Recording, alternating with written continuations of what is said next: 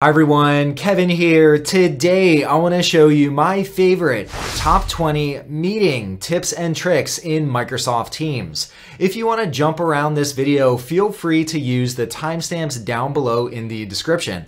All right, let's jump on the PC and let's check these out. Tip number one, when you're setting up a meeting, you can invite an entire team instead of typing in each individual, so it saves you a little bit of time. Here, I'm setting up a cookie eating contest and I'd like to invite the entire marketing team. Now, once again, I could go through and I could type each individual, but that takes a lot of time.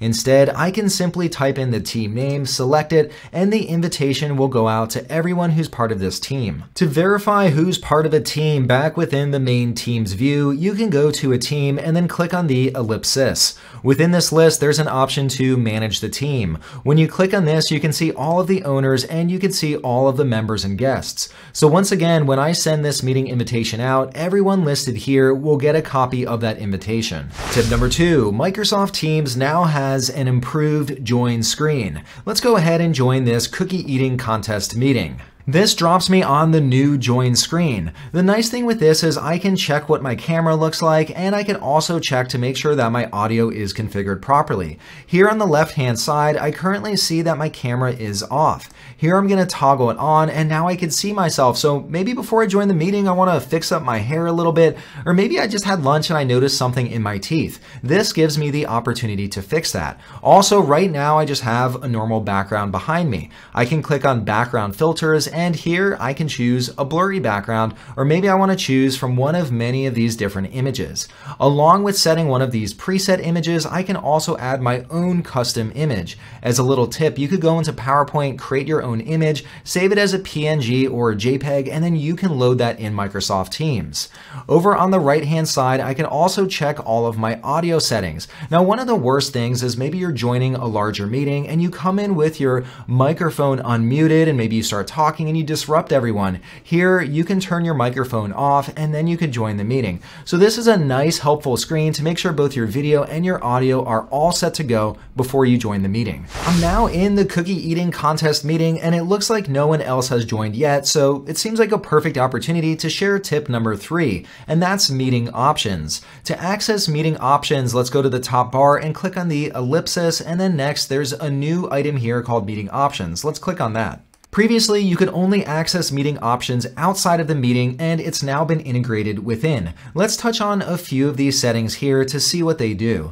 The first one says who can bypass the lobby. What is the lobby? Well, in a sense, it's kind of a holding pen before people are let into the meeting. So let's say that you're a teacher and you don't want any of your students joining before you join, you can set it to only me. If, however, you simply want people to be able to join and then automatically end up within the meeting, you can set it to everyone.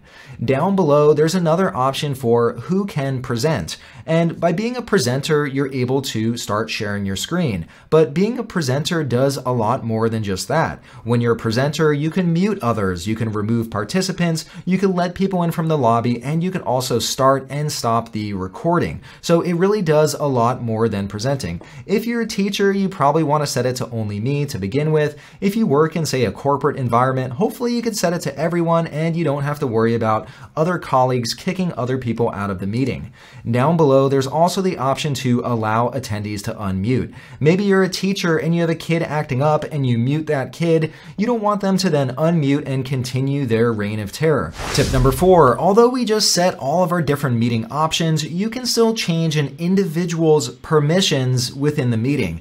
Here, for instance, I see that Nestor is an attendee and maybe Nestor wants to present something on his screen, so I now want to make him a presenter. I don't have to go back to meeting options and reconfigure everything. Instead, I can change his permissions directly from here. When I hover over Nestor, I see an ellipsis. When I click on that, I have a few different options, but one of them is to make him a presenter. When I click on this, it asks me to confirm that I want to make him a presenter. It also tells me what that actually means. When I click on change, now see him as one of the presenters. If I want to change him back to an attendee, once again, I click on the ellipsis and I could switch him back to an attendee.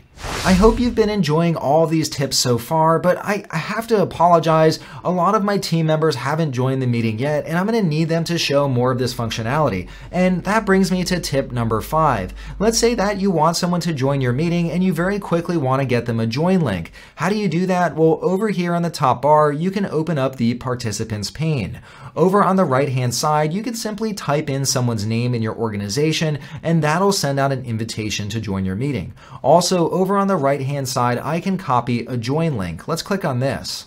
Once I copy the join link, I can open up an email message and I can ask people where they are and when they're planning on joining. Here I could paste in the join link and once they receive this, they can click on that link and that'll take them into the meeting. Tip number six, if you want to be even more aggressive with getting people to join your meeting, you can also request directly from the participants pane that someone join the meeting. I really want Adele to join, so when I hover over her name here, there's a button that says request to join. Let's click click on that. I've now requested Adele to join the meeting and here we can see on Adele's screen, she gets a massive prompt here in the bottom right hand corner asking her to join the meeting. It's kind of hard to ignore now. Well, she could click on decline, but Adele's gonna go ahead and join the meeting by clicking on accept. It looks like Adele is now in the meeting. Hello, Adele. I'm really glad that you were so eager to join our meeting today. Tip number seven, if you really need to get someone's attention in a meeting and they're just not responding to you,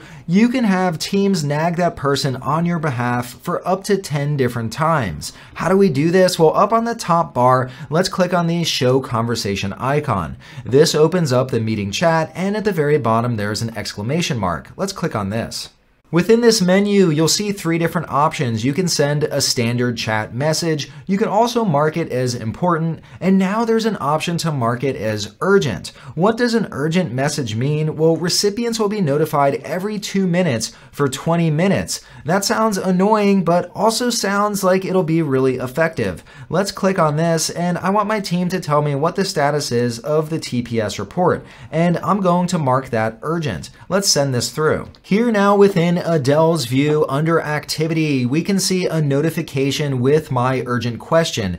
Now, as soon as Adele sees this, she'll stop being notified about it. However, if she doesn't see it, she'll get a notification every two minutes for up to 20 minutes until she reads this message. I'm starting to wonder why Adele doesn't like joining my meetings. Tip number eight, you can set the spotlight on one of your speakers in Microsoft Teams. So this way the video will always focus on them and it won't shift even if someone someone else, say, asks a question.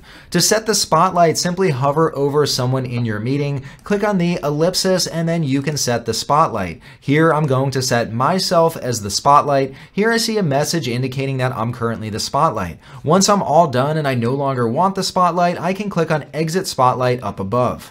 Tip number nine, and this is one of my favorite ones. You can toggle your microphone on or off by pressing the shortcut key Control, Shift, and M M, M as in mute. When you press that, you can toggle your microphone off, and here I'll toggle it back on by simply pressing that shortcut key. Tip number 10, if you want to play a video in Microsoft Teams while you're sharing your screen, you also want to make sure that you include system sound. Here, I'll click on the share content icon. Over on the left-hand side of the share tray, there's a toggle to include computer sound. Let's turn that on. I'm now sharing my screen and we can see what it looks like Nestor's perspective. So not only is he able to watch the video, but he's also able to listen to the audio. Tip number 11, I can also record a meeting. Let's say someone's unable to make it, I can share a recording with them. To record a meeting, go up to the top bar, click on the ellipsis, and then there's the option to start the recording. Let's click on that. Once I kick off the recording, I'll see a banner across the top letting everyone know that a recording is currently in progress. Once I'm all done recording, I can go back up to the ellipsis and then I can go down to stop the recording. To access the meeting recording, I can click on the conversation for this meeting and right here I'll see the recording. I can click on this and this will open up the recording. To access the recording after the meeting, I can click on chat over on the left hand side and I can go back to the chat for the meeting. Here's my cookie eating contest and I see the recording right here. I could also click back on my calendar, click into the meeting, and here too I can also access the chat to get back to my meeting recording. Tip number 12, if I record a meeting, I can also access a transcript of that meeting. Here, once again in the meeting chat, let's click on the ellipsis and let's click on open in Microsoft Stream. Once you open up a recording in Microsoft Stream, you'll see the recording over here on the left hand side, and over to the right, you'll see a transcript of the entire meeting. Tip number 13, you can now use breakout rooms while you're in a meeting. What is a breakout room? Well, here we're all meeting in the main session. Maybe we want to break out into smaller groups, and once we're done, maybe say brainstorming, we want to rejoin the main session.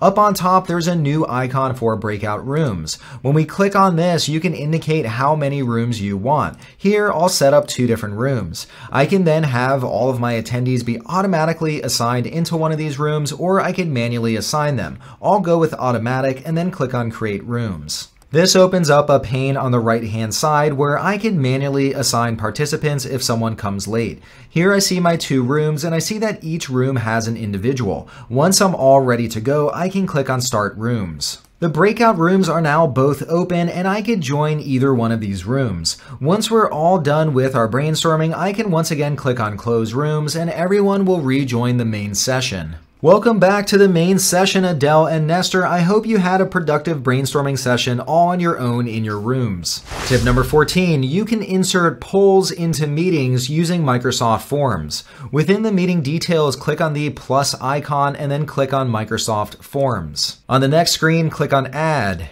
On the next screen, click on Save. At the top, you'll now see a new tab for polls, and you'll now have the ability to create polls from within your meeting. You can also create polls ahead of time. Within the meeting, I now have a new icon for polls, and when I click on that, it opens up a pane where I can now create a poll, and I can ask a live question to my audience in this meeting. Tip number 15, if you wanna have a whiteboarding session, Microsoft Teams supports that. Over on the top right-hand corner, let's click on the share content icon. This opens up the share tray and we see all the different items that we could share. Over on the right hand side, you can use Microsoft Whiteboard or you could use Freehand by InVision. If we click on Microsoft Whiteboard, we don't have to install anything. It simply launches a whiteboarding app directly in Microsoft Teams and you can collaborate with others. Here I have access to all of these different pen tools. I could insert some text. I could insert post-it notes. If I want an even richer experience, I could also open up within the Microsoft Whiteboard app. However, that requires an installation. If you want to watch a full video on Microsoft Whiteboard, click into the description where I've included a link. Tip number 16, you can turn off incoming video. Why would you want to do that? Well, video uses up a lot of bandwidth. Let's say that someone's sharing their screen and they have their video turned on and it's really just stuttering for you. You might want to turn off the incoming video to see if that improves performance. To turn off incoming video, go to the ellipsis on the top bar, and at the very bottom of the list, there's the option to turn off incoming video. When you check that, you should see an improvement in the performance. Tip number 17, Teams makes it very easy to focus on the content that's being shared. Now, it looks like Adele is sharing this video on the Kevin Cookie Company, and I wanna make sure I don't get distracted. This is a really high quality commercial. Up in the More Actions menu, if we click on the ellipsis, first off, I can turn on focus. When I turn on focus, I'll no longer see all of the people in the meeting down here. Let's click on focus, and here now you see that it focuses on the content. But I still have a lot of other stuff around this window. Once again, if I click on the ellipsis, I could also go down and turn on full screen mode, and this will launch it so it uses up my full screen, so now I can just focus on this amazing commercial.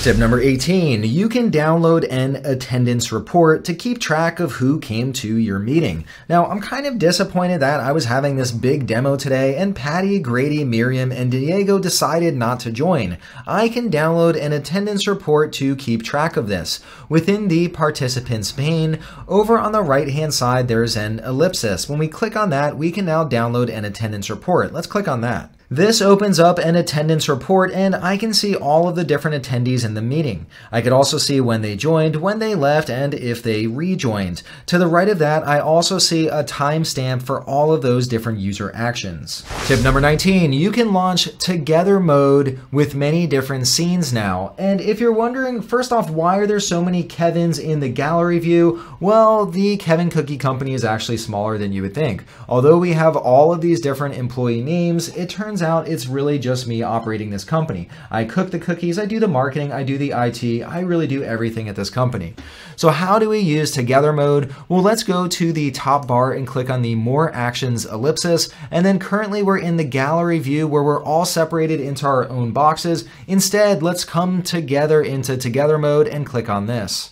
We're now in together mode, and you probably never thought that you would see this many Kevins in one location, but you finally got your wish.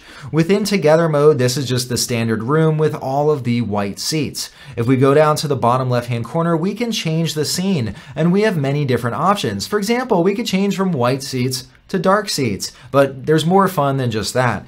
Down below, we have many different scenes that we can select from. Lots of different interesting ones. I'm going to go with this one where we could sit on stone because that's probably more comfortable than sitting in the gallery view. Here now, you can see many different Kevins sitting on stones. I think by now you've probably seen too much Kevin for one day, and at this point, we should probably just end the meeting. And that brings us to meeting tip number 20. To end a meeting, well, you could just click on this big red button and you can just leave the meeting, but everyone else might continue having fun. And I would hate to leave this meeting and leave all these other Kevins behind. So I can click on this drop down and I could also end the meeting. By ending the meeting, everyone will be kicked out. If you're a teacher, this could be helpful if you don't want students lingering around afterwards. All right, well that wraps it up. If you learned some new tips and tricks today, please give this video a thumbs up. To see future videos like this, hit that subscribe button. Also, if you want to see me cover any other videos in the future, leave a note down below. All right, well, that's all I have for you today. I hope you enjoyed, and as always, I hope to see you next time. Bye.